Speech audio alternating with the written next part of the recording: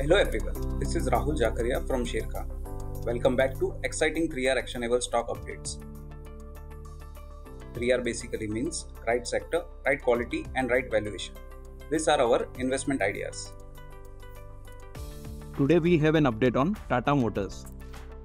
Our analyst maintains a buy on Tata Motor with the revised price target of rupees 840 on expectation of continued improvement in JLR, PV and CV businesses and further reduction in net automotive debt. Tata Motors has secured CMVR type approval certificate for its hydrogen fuel cell powered buses. It has established itself in EV space and is now trying to gain expertise on hydrogen fuel technology. JLR is expected to perform better in second half of FY24 as compared to first half of FY24. The stock trades at EV by EBITDA multiple of 4.7 times its FY26 estimates. Next, we have an update on Varun Beverages. Our analyst retains positive stance on Varun Beverages with a potential upside of 15% over the next 12 months. Varun Beverage has acquired 100% stake in the beverage company which manufactures and distributes licensed Pepsi company owned branded non-alcoholic beverages in South Africa.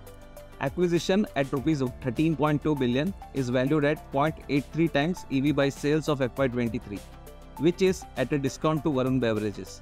Funding is expected to be done through a mix of debt and strategic partnership with a large PE investor.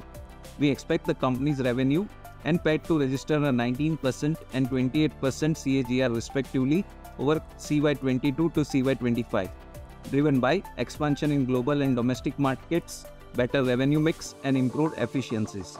Stock trades at 65 times calendar year 24 and 52 times calendar year 25 estimated earnings.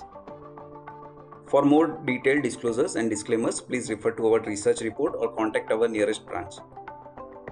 Please read the risk disclosure document issued by SEBI and relevant exchanges and terms and condition on sharekhan.com before investing. Thank you for watching. To keep up with the latest from Sharekhan, make sure you subscribe to our channel. You can also download the Sharekhan app for all your trading and investing needs.